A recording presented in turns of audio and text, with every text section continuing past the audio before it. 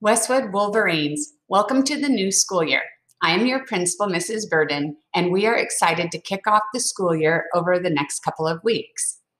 While it's not what we had hoped for, we still look forward to seeing you in Zooms and Google Classrooms.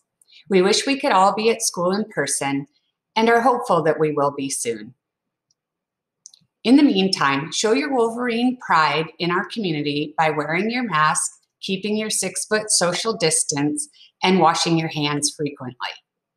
Show pride in your learning by doing your best daily in your classes, and show pride in yourself by joining one of our virtual clubs during distance learning.